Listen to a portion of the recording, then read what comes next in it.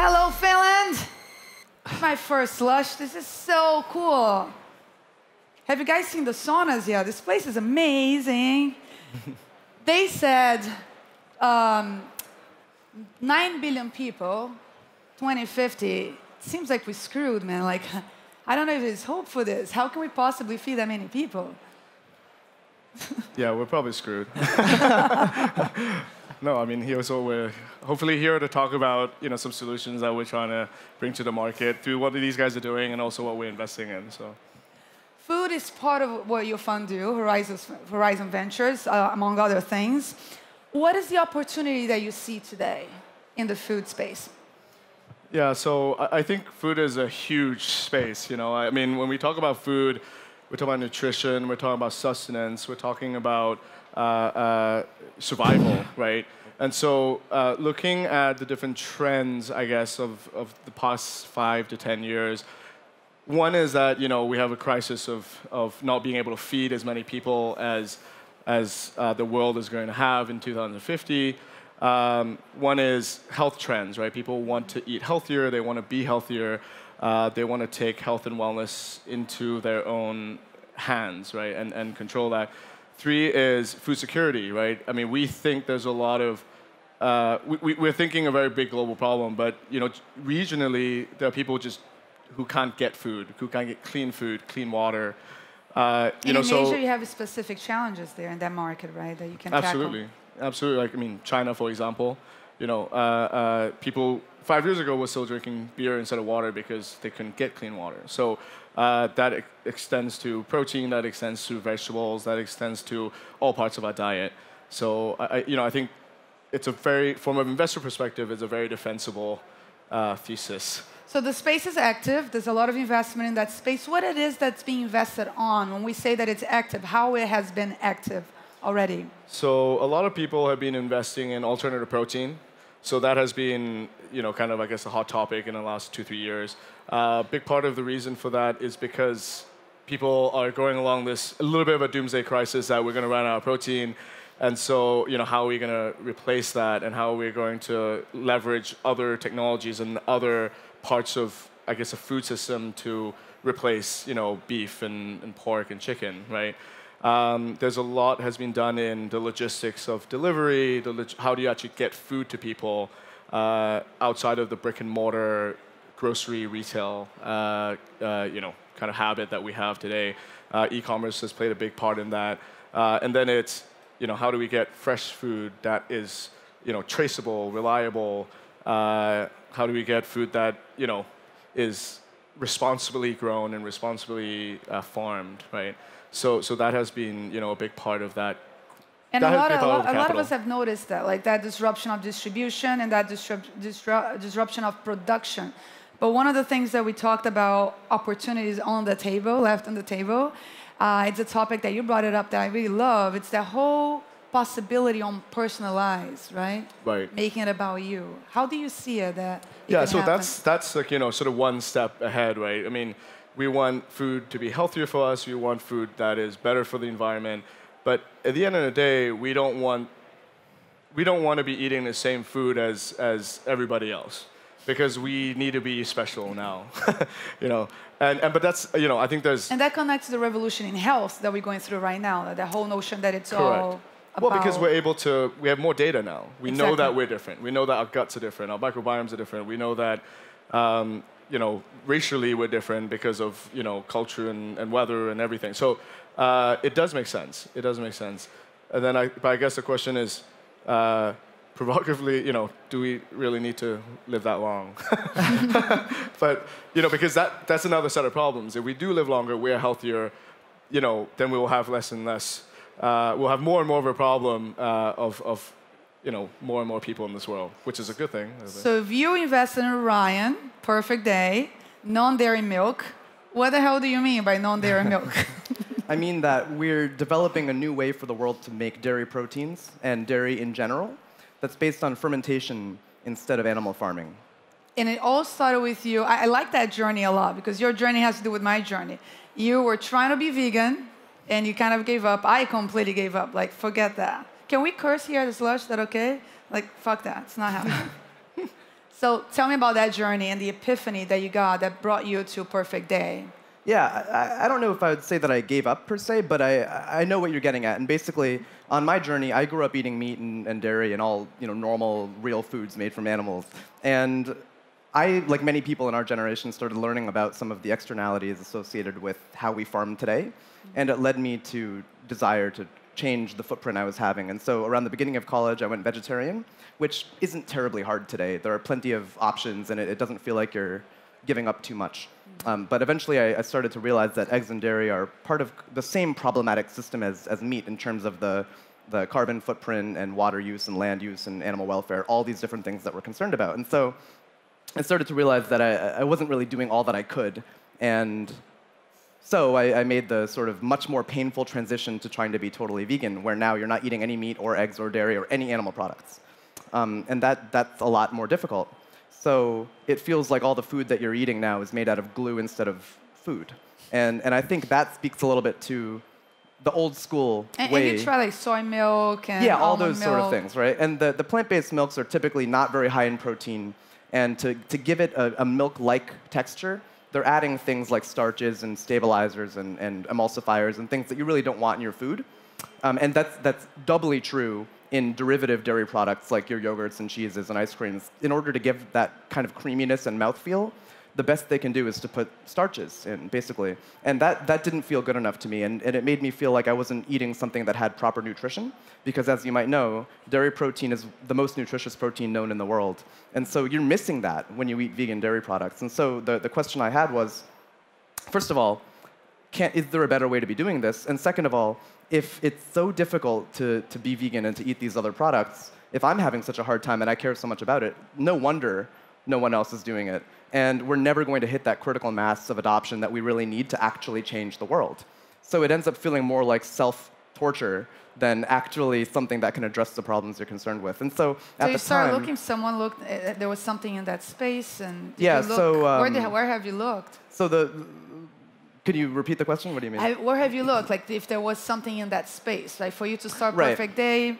So, so the, the way we thought about it was what's missing from these products and what would really change the world for, for the better in terms of dairy is if we were able to make these proteins without animals, because animals are the very kind of beginning of the supply chain and the reason that all these problems exist. So how do you make animal protein without animals? That was the question. And I remember I had that thought. I was working at the time in biomedicine where I was making antibodies and other therapeutics, which are animal proteins made without animals. So it's this aha moment. I'm, I'm thinking, this technology is already there. It's already 50 years old. No one's taken it. Well, at first I didn't realize that no one had done it. So I looked it up. Um, I'm in, it's 2014 at the time, and I'm thinking, every idea has already been had, right? There's nothing new under the sun. But when I looked it up, nothing. It's not like people are writing articles about how, what a great idea, but it's impossible because of X, Y, Z mm-hmm. reasons. Nothing. No one's ever thought of it. So rather than apply to work as an entry-level employee at one company that I would like to, there was just no company to work for. So instead, we took it upon ourselves, my co-founder and I, to start the company to do so exactly that. So what stage are you now? Is this something that we're going to see in the markets tomorrow? Or are we going to be able to buy this shit and try it out? Like, when can I try it? Yeah, you know, I think there's, there's a lot of rushing in this industry, and we're not here to rush through it. We want to do it right. And so it does take a little bit of time to scale up this technology. We have a team of 25 people, mostly scientists and, and people with biological expertise, based in Berkeley, California. And we're working with food companies, big and small, to bring our, our technology to market as quickly as we can, but also not just with one product. We want to do this in a way that we can really help the whole industry and one thing we learned on our journey is that it's not just about fresh dairy products like cheese and yogurt and ice cream, which maybe were my obsession at the beginning. But it turns out that dairy proteins lend functionality to products all over the grocery store. So if we zoom out a little bit and take more of an ingredient-centric approach, we can actually have impact that's, that's much, much broader. And so that's, that's what we're working on now with, with many different partners. And, and I'm sorry, one last thing here. It, it, it sounds incredible, dairy, non, uh, non-dairy milk, uh, the protein chase that you're after. It sounds healthy, but it doesn't sound delicious. So how are you tackling that notion that a lot that the way we perceive food and the way we enjoy food is about the taste and about the look and feel?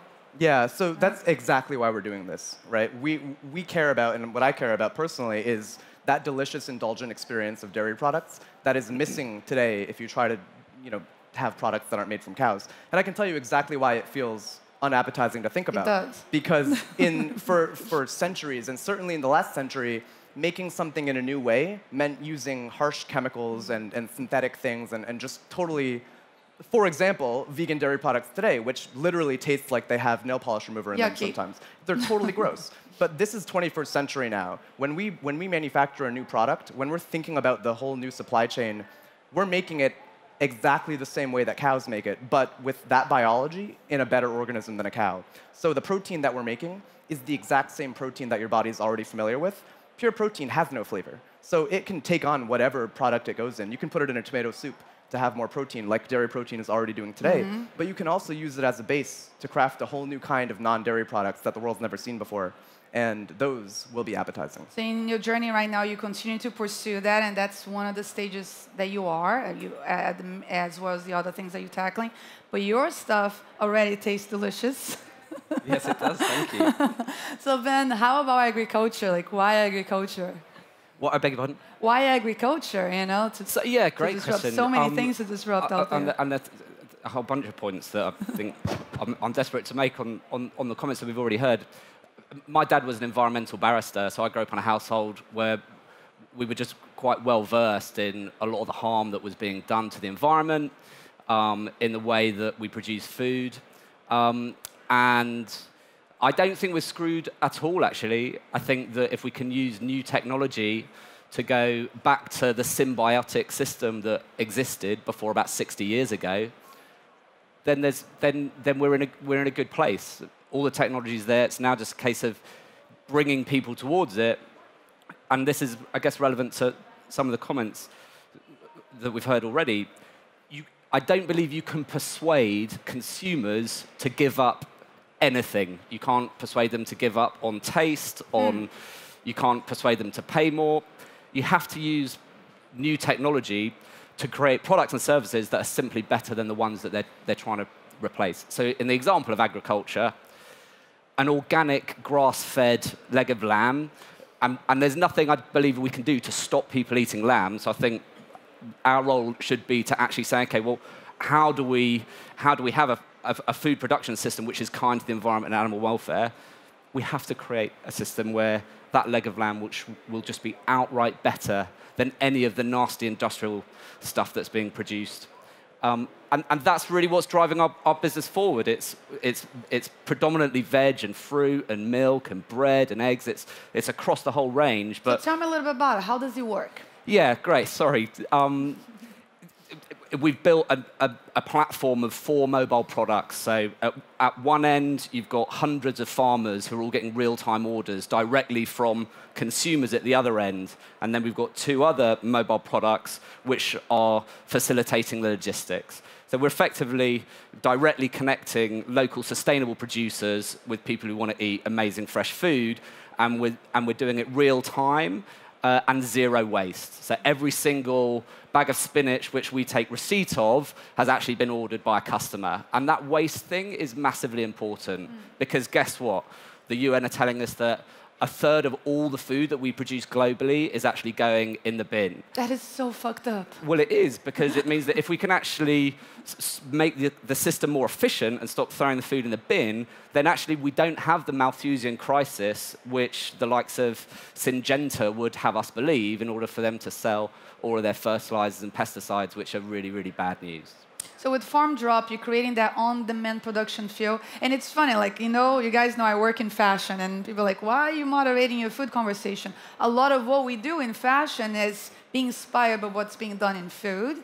So an on-demand production, what you're tackling, it's something that we're tackling in, in fashion world right now.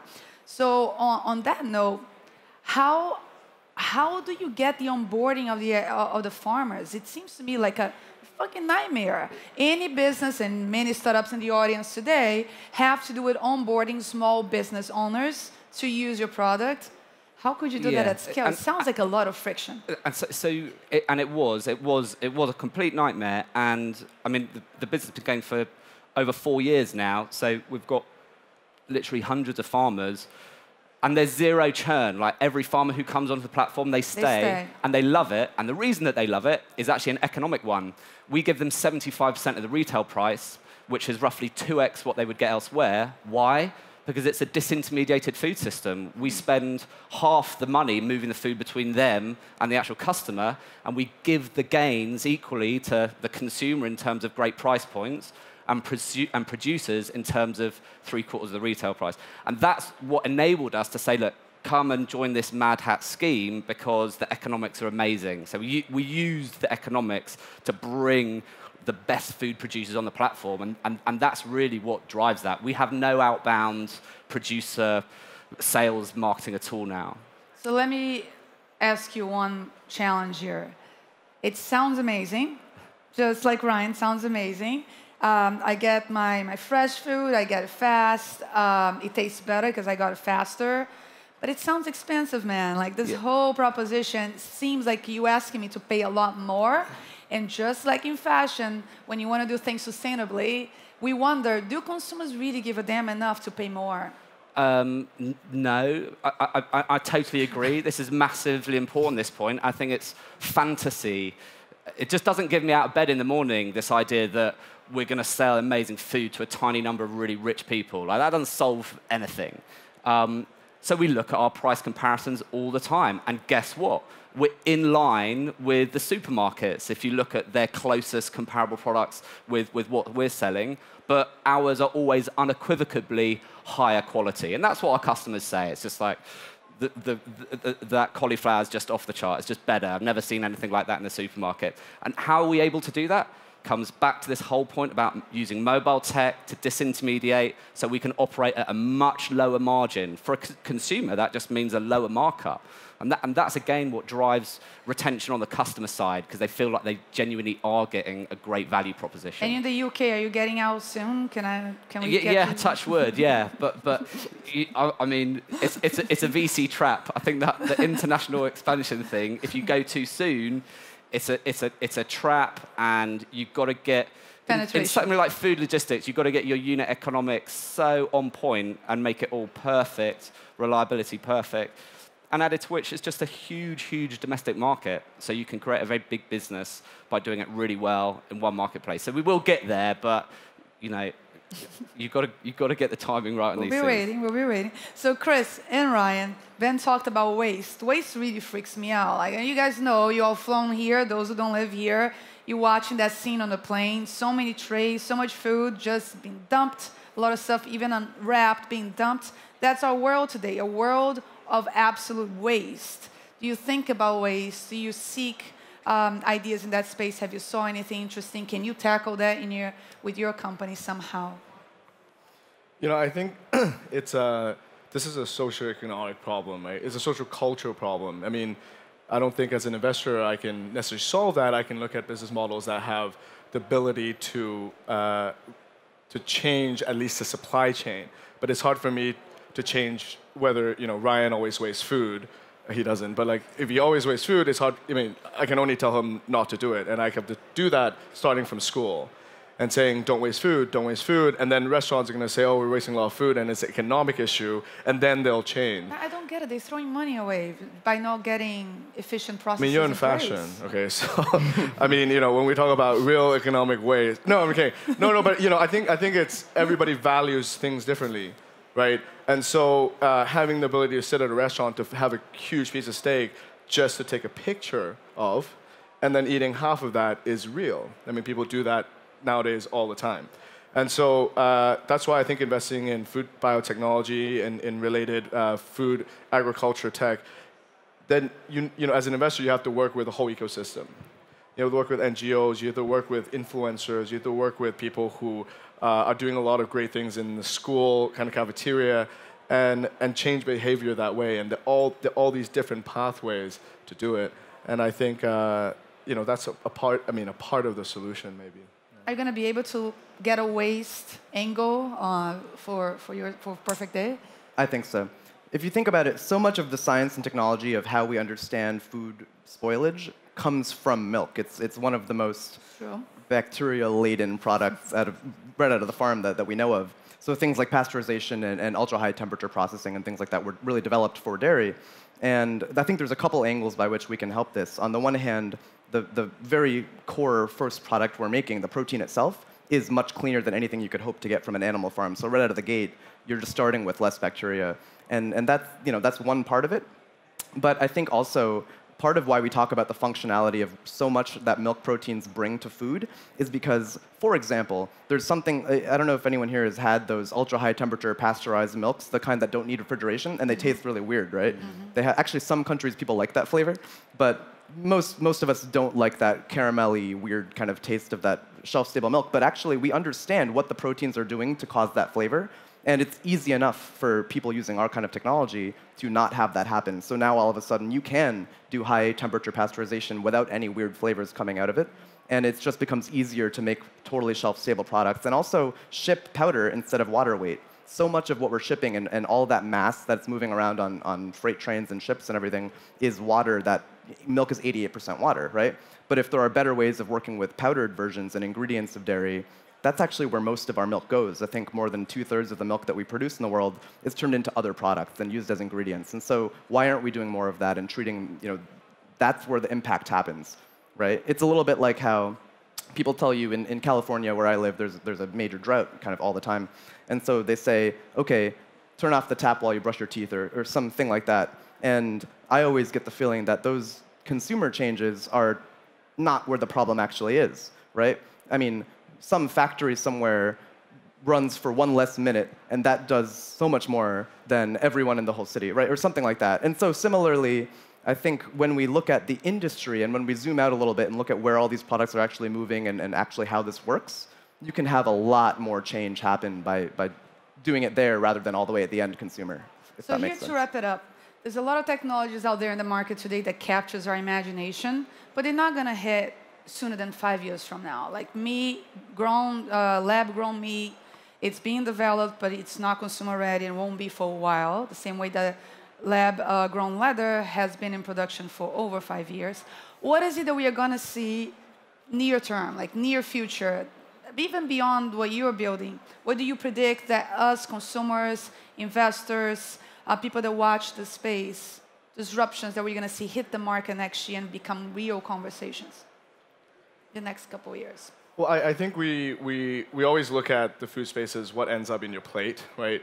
And so lab-grown meat and that conversation and tissue engineering, uh, synthetic biology, I mean, all of this is, this is real technology, right? And, and I think we don't look at the less sexy side of things, which is flavors, you know, colors, uh, ingredients, right? I mean, all of that can be very much in the system already in a cost-effective way. Um, and so, do I think you know we will be able to have everything that's you know biotech driven and you know on our plates tomorrow? Probably not, but you know you will have something that you eat that will be coming from a biotechnology perspective. Uh, you know, probably in the next two three years. So biotechnology for you, quickly, what do you think? I, I agree with Al Gore, I think we are right at the cusp of a sustainability revolution, mm. and it's being driven by people wanting to eat healthier, and e eating healthier, I, I think by and large means eating in a way that's ecologically better. So that it's already going. It's, it's already food, going. It's hitting every vertical. Totally. It's the same system. And it's accelerating. I'm very hopeful. I'm excited about that too.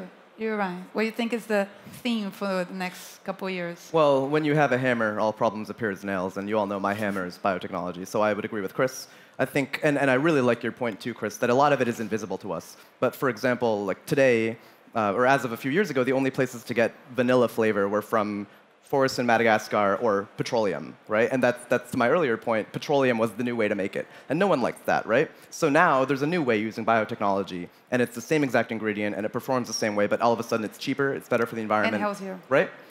So we have to remain open-minded to these kind of things because it might not look the way you expect, but it's the right move for the future because this is a big problem. And to Al Gore's point, I mean, we, are, we can do this if we embrace the, the opportunities that are in front of us. Oh, thanks for the Al Gore plug. He was great today. He was amazing. We are out of time. Thank you guys so much for this conversation. Thank you all for listening, watching. Thank you, Slush. This is an awesome event. Enjoy. Thank you, Liz. Thanks,